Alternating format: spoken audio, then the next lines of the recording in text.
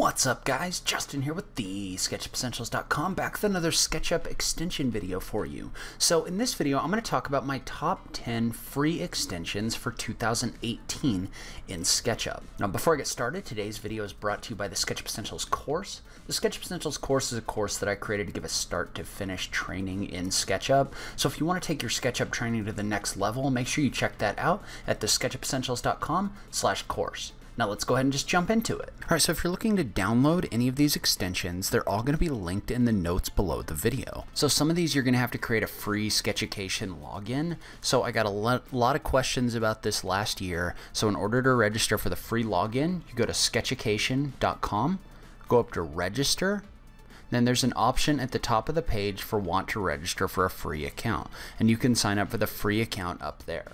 So, and then you're going to be able to download extensions from their plugin store. So extension number one is Curviloft. Curviloft is one of my personal favorites. It's great for creating skins along frames and other complex sets of lines. Functions include the ability to create objects along paths, as well as skins on frames, giving you the ability to create truly organic models within SketchUp. Extension 2 is Joint Push Pull. Have you ever gotten the message in SketchUp that you can't push pull a curved surface? This extension allows you to do that, as well as push pulling multiple surfaces at once, at once, creating solids by using the vector push pull, and more. This is a great extension for adding thickness to complex objects. Clothworks is a new addition to our list this year, brand new from the developer of the MS Physics extension. It's a realistic cloth simulation tool that can be used to simulate draped cloth, hanging cloth, and more. While the full version has some unlockable features like movable, movable pins and different kinds of smoothing, the free version still allow you, allows you to drape and simulate some cloth. This extension also maintains your textures on your cloth objects, allowing you to create very sophisticated simulated cloth within your models. FredoScale and TrueBend. So last year, I featured Fredo Scale for its ability to bend objects within SketchUp, as well as a bunch of the other scaling features that it has included. This year, I'm still featuring Fredo Scale, especially because it has such a great suite of scaling tools, um, specifically the radial bend tool, but with a catch. I'm also recommending a new extension from ThomThom that allows you to bend objects along a 360 degree radius, while Fredo Scale only bends objects along 180 degrees. Both are excellent free tools tools to have in your toolbox. So one of the areas where SketchUp lacks a little bit is in the animation functions. You can definitely use section planes and moving cameras to create some animations, but you can't do but you can't create animations that allow you to actually have moving geometry in a base SketchUp install. However, with the extension Animator, you can animate the movement of objects as well as about anything else you could think of within SketchUp.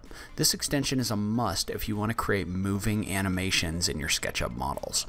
One of the most powerful extensions for SketchUp is Flowify, which allows you to bend geometry based on a target shape with four corners. This allows for the creation of more complex shapes and objects by using a complex target shape.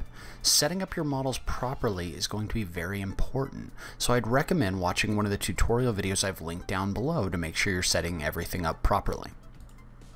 Slicer allows you to take solid shapes and break them up into different slices, allowing you to make very interesting geometry.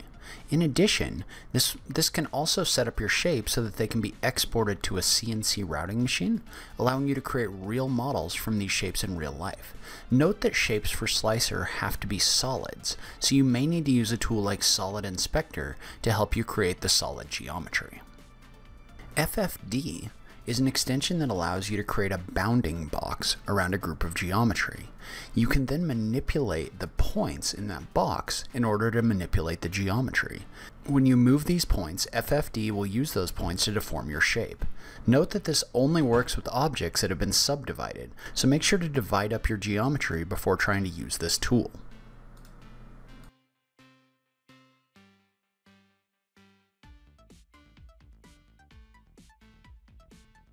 Soapskin and Bubble is an extension that allows you to select a frame, create a face along it, and then inflate it to create different kinds of faces. This is an excellent extension for the creation of shapes like tensile structures. In addition, if you're just looking to generate a complex face along difficult lines, this extension is great for that as well. As we move forward with SketchUp, UV mapping and proper placement of materials is becoming more and more important, especially with the ability to export to other engines like Unreal Engine and that sort of thing. ThruPaint, is an extension contained in Fredo Tools, another collection of extensions from Fredo 6. This extension allows you to really customize the location and mapping of materials within your SketchUp models, especially on complex faces.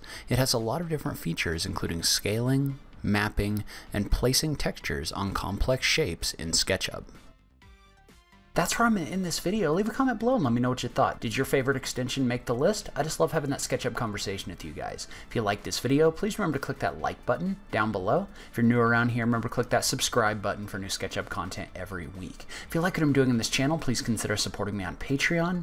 Every little bit helps, even if it's only a dollar a month, so make sure you check out that link in the notes down below. But in any case, thank you so much for taking the time to watch this. I really appreciate it, and I will catch you in the next video. Thanks, guys.